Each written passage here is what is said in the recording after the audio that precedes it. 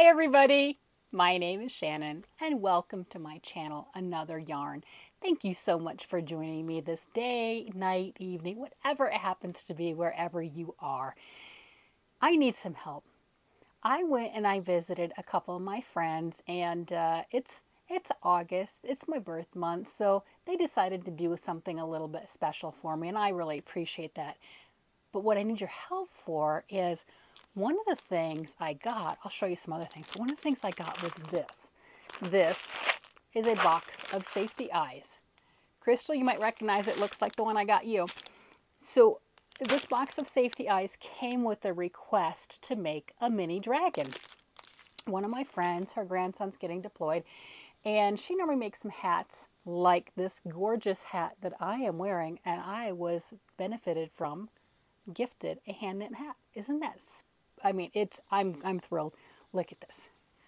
So where he's going, he doesn't need a gorgeous hand knit hat like this. Look at that tweed. Isn't that stunning? Oh my gosh, it's orange and it's tweed and it's soft and it's scrumptious. So she's going to give him a dragon, a little miniature dragon that he can put in his pocket and and think, you know, it's just a touch of home, right? I'm like, okay, so I was searching YouTube because isn't that what we do? And looking for different dragon tutorials. And this is where I need your help. Help me out. I came down with three of them. I'll insert the pictures. It'll just make it easier. So the bearded dragon was the first one. This particular YouTuber is stunning. Oh my gosh.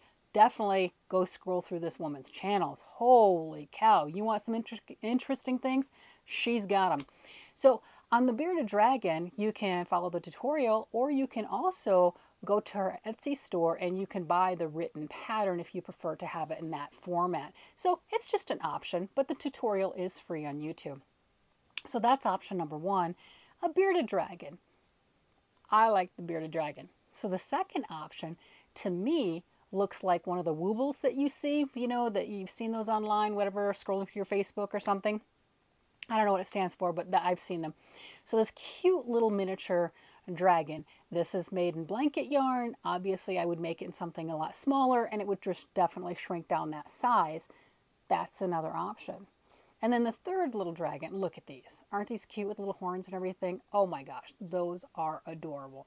So I was looking at one of those three dragons to make let me know, and I'll also put it up on my community page and maybe do a little vote thing. Uh, which dragon should I make? Which thing? The, the bearded dragon lizard, does that count? Uh, the little miniature dragon, the little woobles one, or the one with the horns? I don't know. I thought they were great. So you want to see what else I got? I mean, you know, it's yarn related.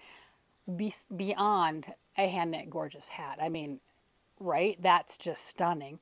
I got, look at this. So one of my friends gave me this gorgeous bag. Isn't that great? So it's like a waterproof, and I've been carrying it around with me for the last two days. I, I have. It's been stuffed and, and to the gills, just carrying it with me.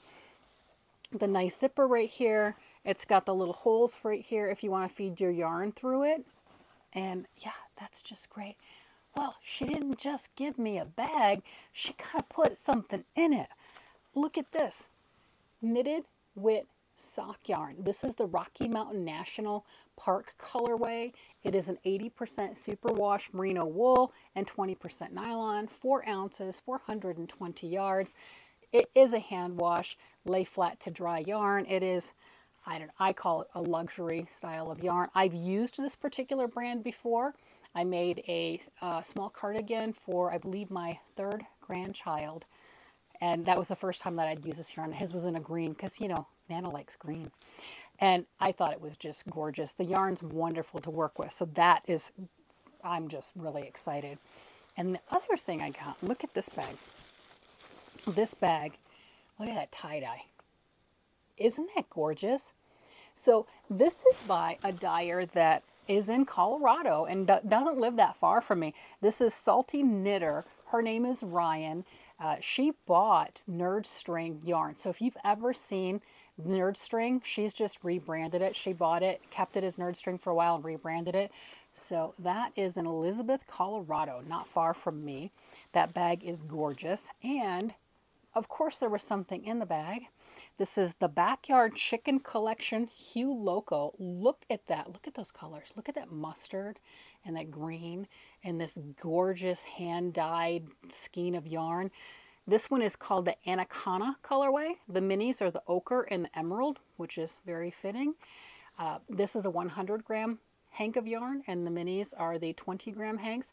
So this was perfect for a rather large one skein shawl and a couple of pops of color. If you wanted to make a luxury hand knit pair of socks, that could be toes and cuff with the regular socks. And there would still, with that amount left, with up to even a size 9 woman's foot, which is what I am, you would have enough to make uh, maybe a baby pair or something along that line left over. So uh, yeah, this is gorgeous. Oh my gosh, look at that. I am just so tickled. But anyway, guys, I just wanted to pop on and, and show you this gorgeousness and pop out that question on what dragon should I make. I've got the eyes. If I need to use seed beads because the dragon's so tiny, I will, but I need some help. Help me decide which one should I make. Thanks, everybody. I'll talk with you later. Bye-bye.